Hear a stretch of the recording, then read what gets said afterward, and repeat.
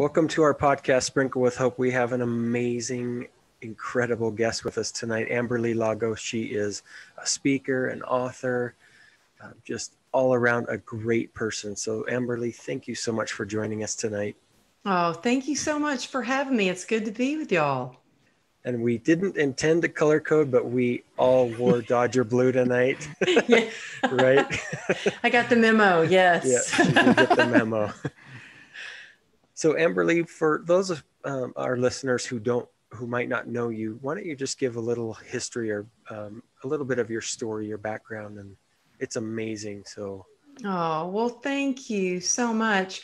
Um, yeah, I know I probably don't sound like I'm from California. I'm originally from Texas. I grew up in a small town and had big dreams of moving to California. And everybody was like, oh, you'll never make it there. Good luck. You know, don't. Don't pack everything. You're going to be right back home. Don't take everything with you. And um, I come from a big family where if we wanted to do something, we had to work for it. So I started working at age 13. I was, um, I worked at a little place called the Cookie Jar where I roller skated around, baked cookies, and sold cookies. I taught dance. I was a lifeguard. I babysat. I scrubbed toilets. I basically did whatever I could to save up enough money to move to California. And I think I wanted to move to California so bad because every year we got to go to Dallas and go to this convention where they had these teachers from LA and they were just like rock stars to me. And I thought, oh my gosh, then MTV came out and you saw the backup dancers in the music videos. yeah. And I was like, wow, you can get paid to dance. That is what I'm doing. So um, I packed up my little Suzuki Samurai and traveled out to LA and ignorance is bliss. I had no idea what I was getting into. I mean, I was from a small town. I remember the first time I stopped in San Francisco first, and I remember I, I had an appointment to go meet with a photographer, and I remember walking down Central Avenue, and I was in a dress, and I had people whistling at me, and I remember going, what are they whistling at? What's going like what is going yeah. on here?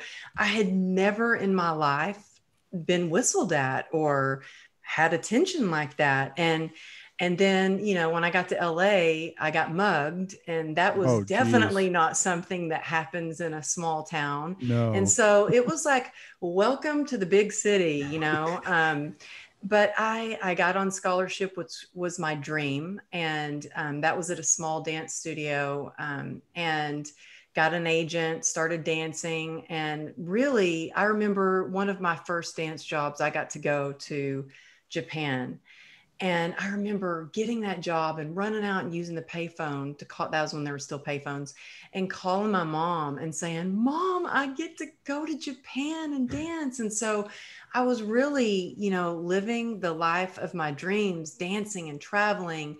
Um, and then I got into fitness, and I had a family, and you know, I was doing fitness videos and infomercials for Body by Jake and sponsored by Nike and, you know, nationally recognized as um, a fitness trainer. And everything changed in the blink of an eye when I was coming home from work that day. I had ran my best time. I'd ran 11 miles in my best time. And to me, running was fun. That was my therapy. Right. That was uh, something I loved to do. I mean, I ran track in high school and, and coming home from work that day, I was on my Harley and I got hit by an SUV. And I couldn't really do anything but try to jump off my bike and let go of the clutch and thrown 30 feet. And I remember I was sliding across the asphalt. Ooh. And all I could think of is please just don't let another car hit me because I was a, a, busy road and I couldn't tell what I was sliding into. When I finally came to a stop, I looked down at my leg and I only looked once because it was just crumbled into mm. pieces. Mm. And I realize now looking back that here I was looking at my leg, my femoral artery severed. There's there's blood everywhere and I realized looking back that one of my defaults has always been to, okay, well, what can I do? What am I going to do about this? You know, and one of my first thoughts was, oh, I may have to train clients on crutches for a while. That kind of sucks. And I was like, I had no idea that it would just, it would, this was changing the course of my life forever. Um, I was rushed to the hospital and in, in the ER, it was just crazy because my husband is a lieutenant commander with a CHP and in the brotherhood of the, and sisterhood of the police force, news travels fast. So there were the whole room, the ER was like filled with cops and it was chaotic. And I'm strapped to this, you know, this board and I can't see anything. And I hear this wailing, like someone crying. And I'm like, what is that? This is crazy. And I look and I had never seen my husband cry. I mean, he's a big, tough mm. guy. He's a first responder and there he was hysterical not just crying hysterical and mm. running back and forth and i yelled across the er johnny get over here i need you to be strong for me and at that moment i really needed to know i i needed him to be there for our two daughters i didn't know if i was going to wake up i did i thought i was dying they then i had this nurse um, I later found out, I went to the hospital. I found out her name is Shaniqua, but she was this beautiful nurse with flowing hair. And she leaned over me and she said, We're going to give you something to make you feel all better now. And that's the last thing that I remember before I woke up from a coma. I had no idea how long I'd been out. And when you're in a coma for that long, you know, they put Vaseline on your eyes so your eyes don't dry out. And I had tubes down my throat. And when I woke up, I was just, I'm trying to rip the tubes out. And they're like, oh, no, no, no, honey, don't rip the, don't rip those out. And they're like, I think she's trying to talk. And, you know, my husband's leaning over me and he's got tears in his eyes. And I, they give me a notepad. And the first thing I write is, get off my tubes and he was leaning on my tubes and i couldn't breathe oh, and so i was like not like i love you honey. How long have i been out? But it was it was a, a crazy you know situation. Like there was so much emotion like i'm alive. How long have i been out? Um, and then next came the news of we're going to amputate your leg. And you know the doctor said this is like a war wound. Your leg is crushed. You've got a 1% chance of saving your leg. And I was like, okay, well, there's, so there's a chance. There's yeah. that, there's a 1% chance. Well, we need to find a doctor that's going to save it. And right. I swear that took an act of God, but we found a doctor, Dr. Wiss, and we got, you know, transferred. My, my husband is actually the one who, put the cease and desist on the other surgeon who was just going to amputate it. He was like, No, I want her to wake up with both of her legs. I want this to be her decision. And so, you know, he still kids around, you know, you've got both your legs because of me, you know.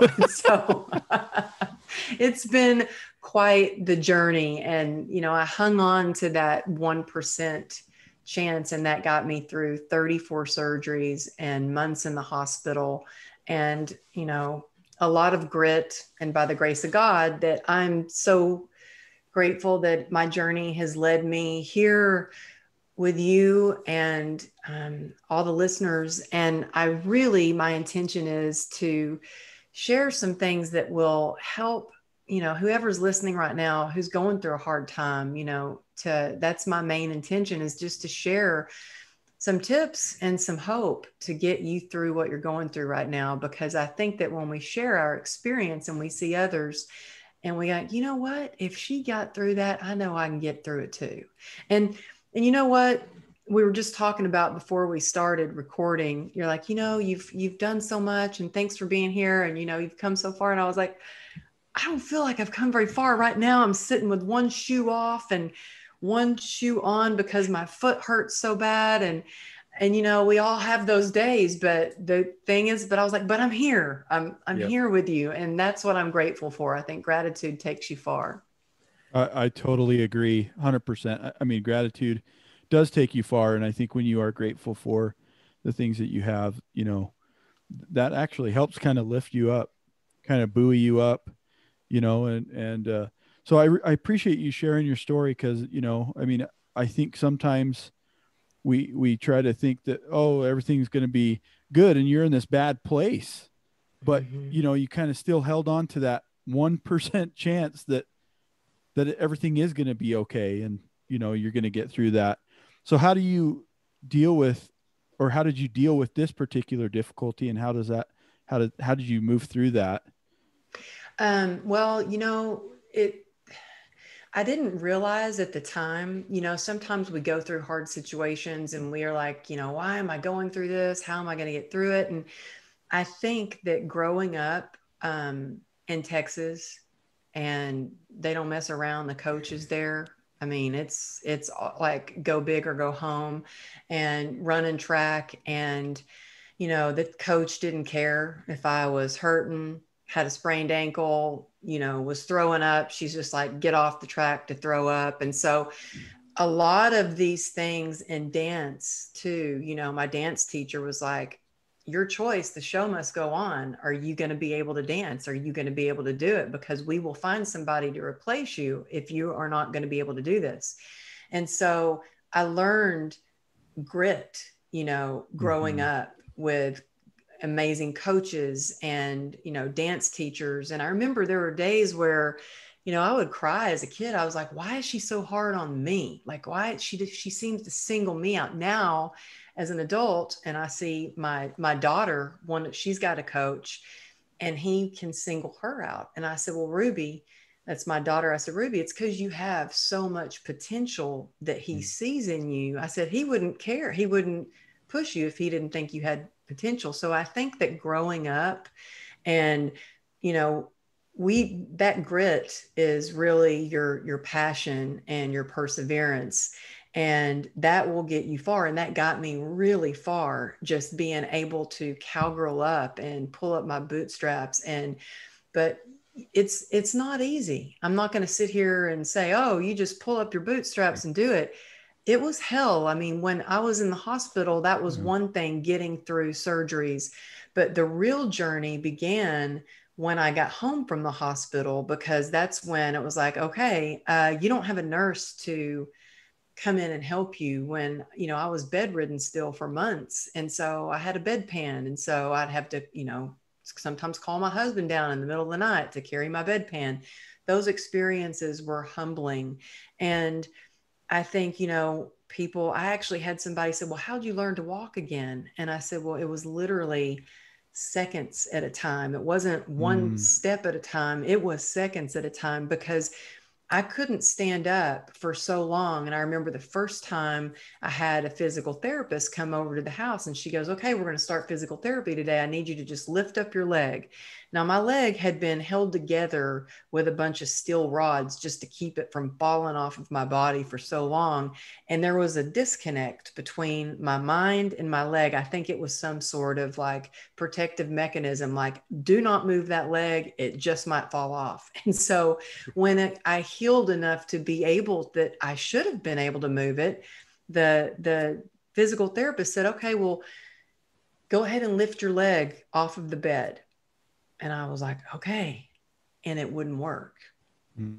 Next day came over, go ahead and lift your leg up off the bed.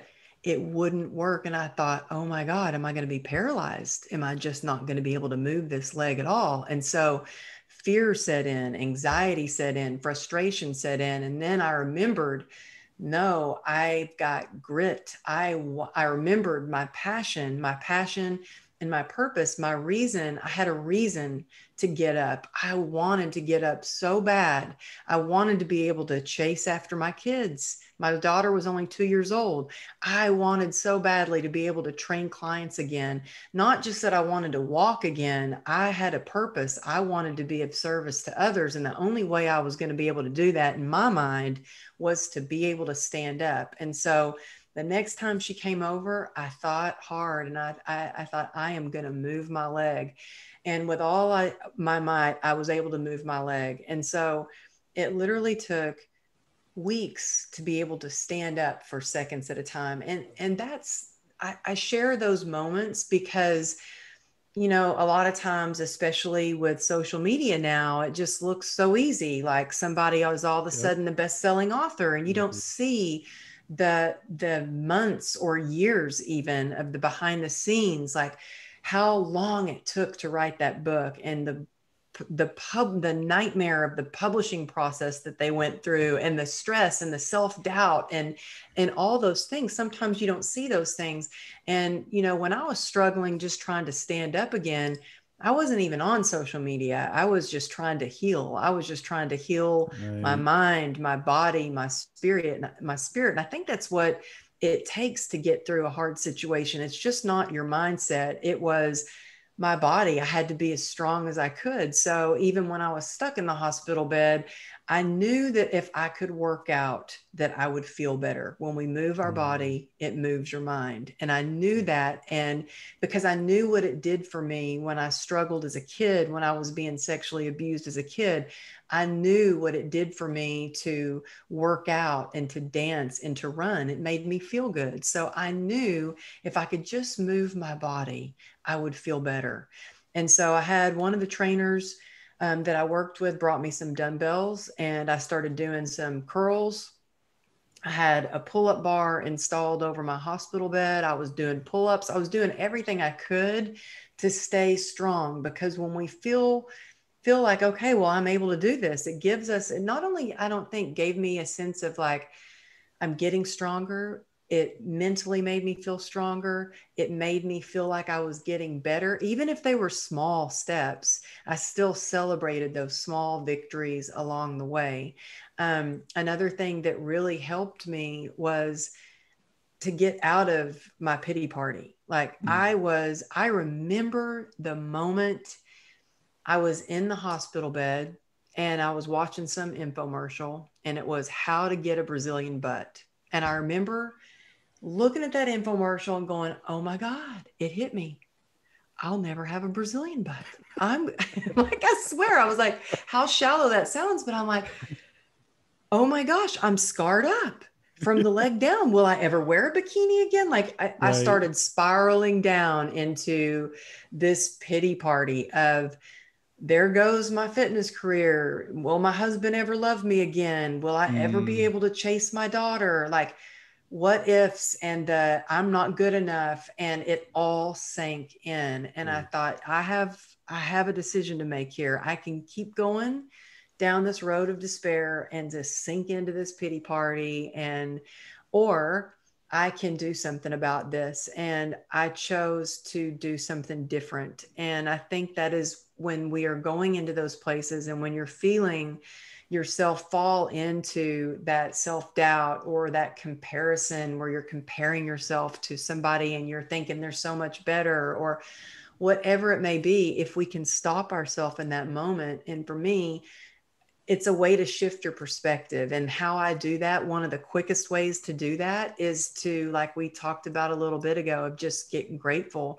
And I didn't realize just how much that works until I was in the moment. And mm. instead of looking down at my leg and, and, and thinking all these thoughts of, you know, I'm all scarred up. I don't know if I'll ever walk again. Is today going to be the day they amputate it? I started writing in my journal everything I was grateful for. Like, and and a lot of it was I started writing in my journal reminders of thank you notes that I needed to send out because I was drugged up and I was like, I don't want to forget to you know, send a thank you note to Nancy. My mom will be upset with me if I don't do that, you know. And I noticed when I started, the more I thought about, wow, I'm so thankful that she brought me flowers. And oh my goodness, I can't believe that nurse came in and sat with me and talked to me. And I wrote down every nurse that came in and took care of me. And I started thinking about all the blessings that I had in life. Like, then I thought I get to see my daughter tomorrow. I hadn't seen my daughter in two weeks because I'd been in ICU. And I started focusing on these small goals. If I could just sit up in my wheelchair, then they could roll me out to see her in ICU. And so, all these little things. So, by being grateful, by focusing on good things to come in the future. And also, you know, sometimes we have to think about how worse it could be. Like, I was like, well, it could be worse. I could be dead.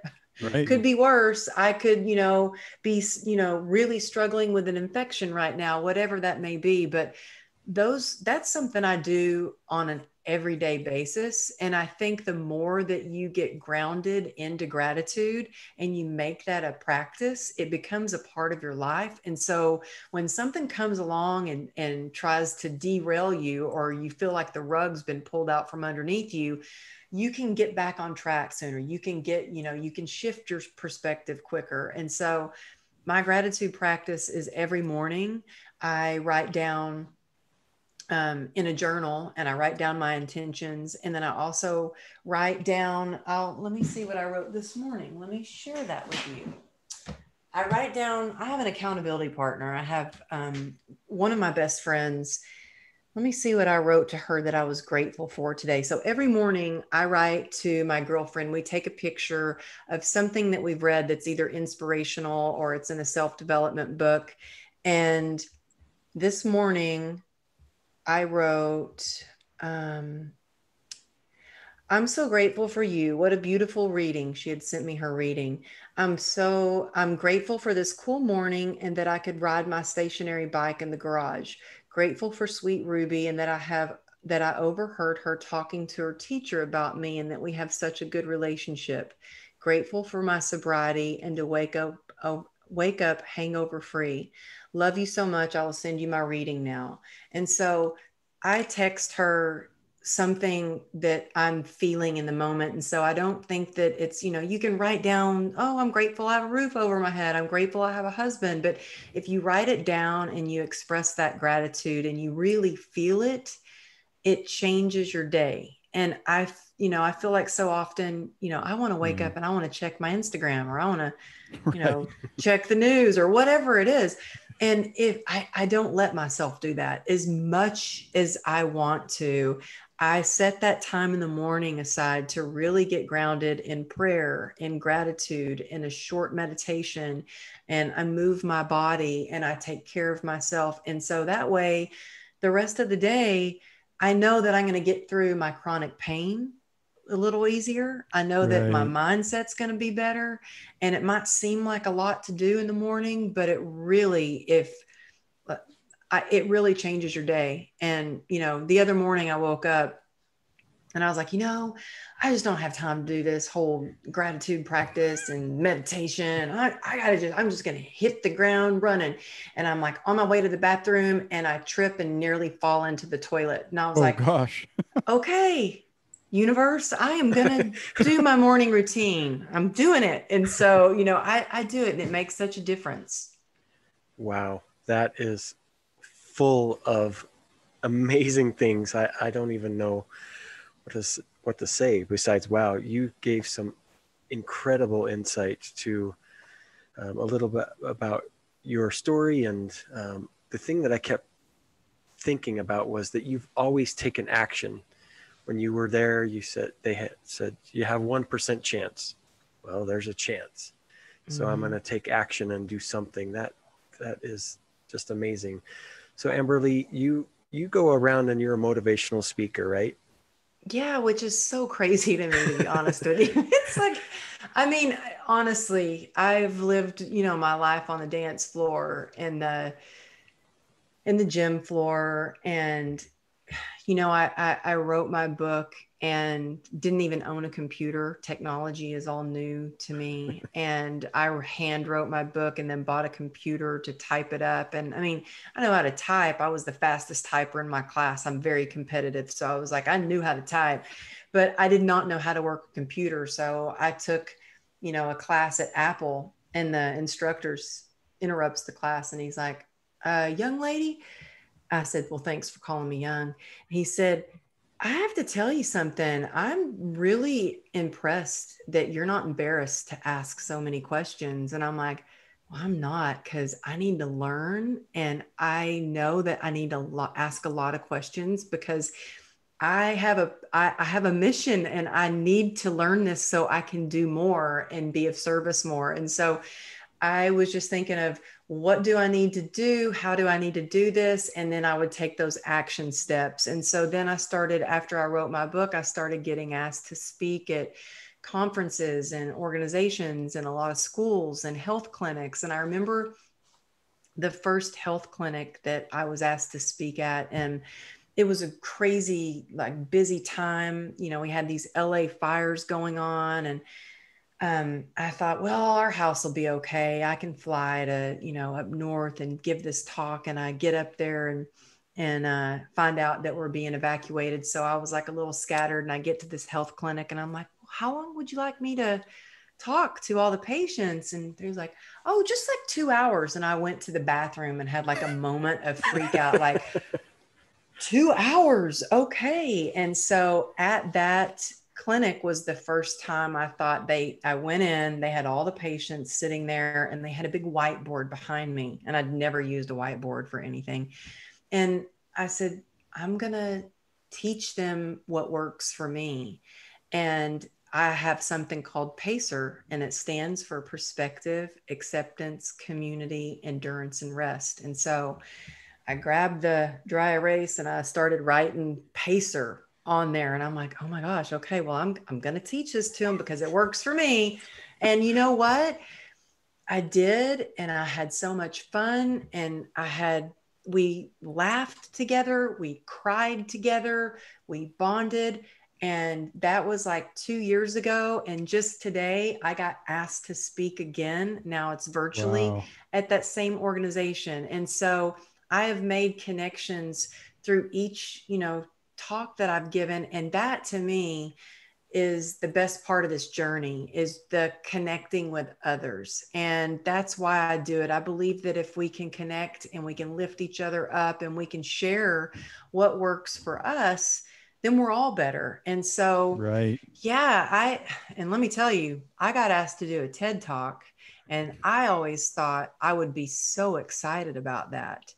And when I got asked, I was like, is this legit? And I emailed them. I'm like, oh my God, this is totally legit. They want me to do a TED talk. Like, I've got 12 minutes to share the most important message of my life. How do I do this? I was scared to death. I remember I was like frozen in fear. And, you know, Shane, you said you take action you're right I, that is what gets me out of that fear is if you take action it relieves that fear and so I, whatever I could do to get out of that fear or that anxiety or turn that anxiety into excitement I did. And so, whether that was going upstairs in my office and pacing back and forth and practicing my talk or doing some push ups or whatever it was to take that action step to make me feel better, that's what I did. And I remember doing that TED talk. Um, they sent me a link. They're like, Your media's up. And I remember scrolling through the media and the website, it scrolls up and everybody's like, PhD, PhD, PhD Amberly Lago, PhD, PhD. and my husband was like, um, you know, you're the only one that doesn't have anything after their name. It's just Amberly Lago. and I was like, yeah, honey, thanks for making me feel better. and so the curator called me and um, I said, well, you know, I'm not trying to promote my book or anything, but is there any way we could at least like add my NSCA CPT initials for a trainer or the book or some little initials after my name. And that was like my ego talking, like yeah, totally right. into my ego, you know? And she said, wait a minute. She goes, I said, you know, I'm the only one that doesn't have a PhD. And I'm talking at Berkeley for the 10th anniversary, which is one of the biggest TED Talks. And she said, look, you do have a PhD. You've got a PhD in heart. Mm-hmm. And that is why we're having you speak at our event is because you're going to touch their hearts. And I, that moment changed everything for me. So whenever I feel like I'm not enough or I'm not smart enough or I'm not good enough to be on that stage or because believe me, I feel that way. You know, I, I mean, I remember when I was asked to go to Salt Lake City and flew in and I was sharing the stage with Mel Robbins and Jay Shetty and wow. Lewis Howes and Brendon Burchard. And then there was me. And nobody knew who I was. And they all had their media crew and everybody with them, and they had their agent with them. And we were backstage and around this table, and I'm sitting with all the big wigs. And this guy who I don't recognize looks over at me and he goes, Who are you here with? And I'm like, Oh, just me, just me. Um, and I wish that I would have said, Oh, I'm Amberly Lago. I'm yeah. an author of True Grit and Grace. But I think I was so taken back. I was like, oh, it's just me, little old me, you know. And he kind of turned his shoulder. And I said, you know, he had a Texas accent. I thought, you know, Texans, we like connect, we could be friends. And I'm like, so who are you here with? And he goes, oh, I'm a boutique agent. And I said, oh, I need an agent. He goes, oh, no, no, no, no. I'm a boutique agent.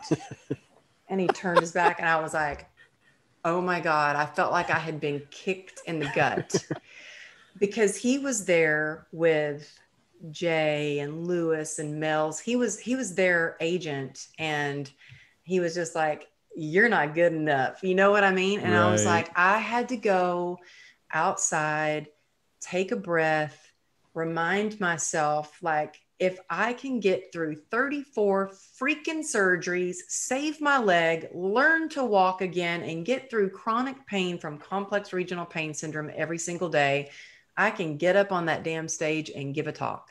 And yeah. so yep. I did. I had to go out and give myself a little pep talk. And um, I got really lucky because they gave me a little time on stage, and there was a big speaker that was like right before me because they had me set for like inter- intermission. She's going to be like right before oh, intermission, right. right before lunch. So people are going to be leaving. Well, the other speaker didn't show up. So mm. I got to go on when they were expecting for, you know, this big speaker. And you know what? It, I, I felt like I connected with the audience. I had people come over to me afterwards. And it ended up being one of the best days of my life. So the moral of that story is, you know, forget the naysayers, listen to your heart, listen to your gut, follow, you know, believe in your purpose, focus on your why, and go after your dreams. It doesn't matter what anybody says. Uh, you can, I like when people say to me, Oh, you'll never be able to do that. I'm like, Oh, really? well, I'm going to try it. I'm going to try it yep. and I'm, I'm going to do it. I'm going to prove to myself that I can do it. You know, yeah. I use that as motivation. Yeah, yeah. I, I love that uh, because I think, you know, kind of what you were saying, what was bringing to my mind is you didn't attach yourself to these other, uh, these other names, right? Like you didn't attach yourself to a PhD because that's not you. That mm-hmm. doesn't define you in any way. Mm-hmm. You're Amberly Lago. That's who you are. That's you know you have grit you have those things. Uh, you know we've talked about those. and that's enough. Yeah Amber and that's enough. enough for you. That, that's just amazing. Just what amazing. i mean it would be nice to have a phd i'm not yeah. right?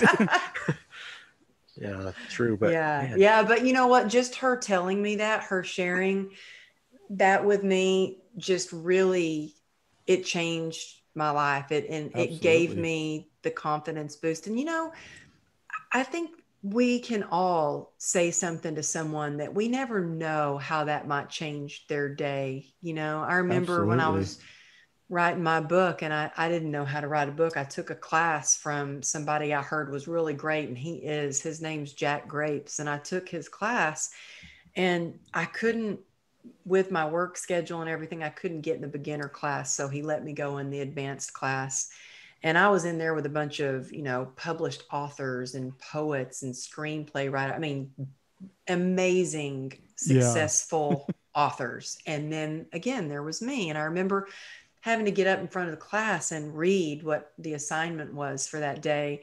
And I got up and I had written what is now the first part of my book, and my hands were shaking. And afterwards, I sat down and cried. And he's like, Why did you take my class? And I said, because I want to write a book. And it was like the first time like I said it out loud. And he goes, Well, let me tell you something. You will write a book. He said, You may have been intimidated when you first came in here by all these people, but let me tell you, they are intimidated by you now. And not that I wanted anybody to be intimidated Sure. of me. Yeah. But he was just saying that he could see how intimidated and scared and and like I did not have the confidence and it took every ounce of grit that I had to stand up in front of that class and read that. But he gave me so much when he said, "You will write a book."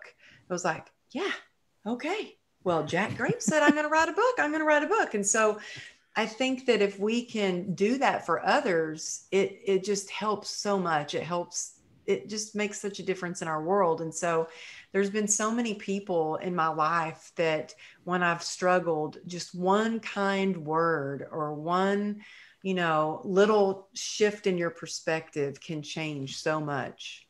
Yeah. That is so awesome.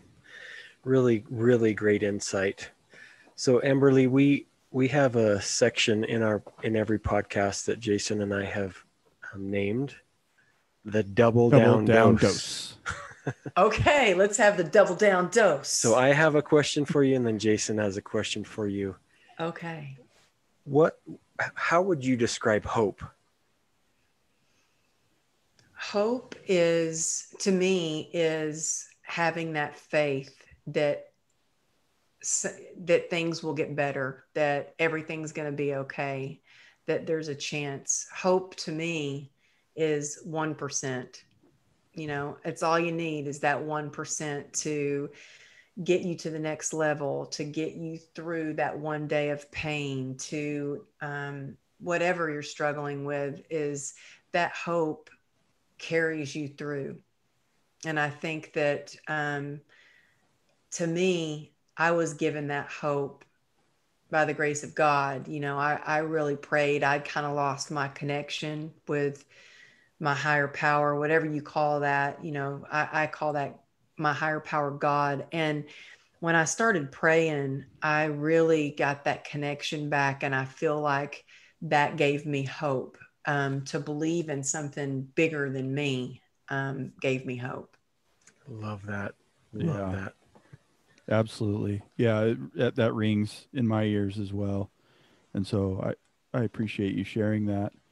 So, so my question for you, Amberly, that we kind of like to end on is what is your definition of love or how would you define love?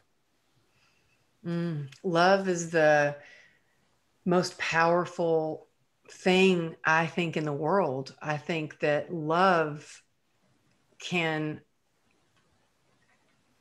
to me love is like the human spirit that won't give up. Love when I when I think of love and maybe this is just because I've been watching this Spartacus on TV and and these warriors who like travel the country because of love.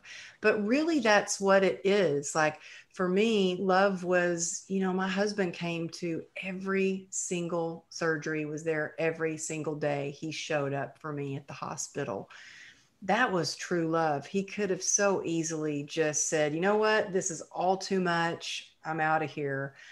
Um, love carries you through the hardest times and it connects you and bonds you when you're going through those really challenges in your relationship or with yourself. For me, love is from within. It was when I had to learn to love myself again because I hated myself, and hate's a four letter word in our family. Mm. And I really had to learn to love myself um, in order to get that light back inside me and really get that flame burning again. And that was hard, but I just gave, I was willing and I, I tried every bit a little bit more or every day a little bit more and a little bit more. And I think that that it is possible to love again when you've been hurt or disappointed. And so anyway, those are the first things that come to my mind when you ask what is love. That's a I- long answer, isn't it? I, you know what? I love it. yeah, I do too. Oh, What thank what you. really great insight. You, you know, I've really enjoyed this discussion. I'm even more excited to go back and listen to it over and over. I think you have Oh my gosh, you are so sweet. I'm just going to some- hang out with y'all all night. you have some incredible insight and I, I we're very thankful for your time and just the things that you've shared with us um, i've been touched by it i'm so grateful for you and your story and your desire and willingness to one ch- one percent chance to make it better. So thank you so Oh, much, Amberly. Thank you. Thank you guys so much. Thank y'all for having me. Oh, absolutely, Amberly. We we were so excited for this podcast recording tonight, and and so we're we're so happy that you came on, and and I feel touched as well. I mean, your words, you know, ring, you know, not just in my ears but in my heart, and I'm Oh, so I'm so grateful you. for your words, and and I appreciate you coming on and and uh, sharing with us, and and uh, you know your story, and and it's really touching. So Oh, thank you. I appreciate um, being on the show and and and thank you, whoever's listening. Reach out to me at amberlylago.com because that's my favorite part is just connecting with others. So yeah, reach out.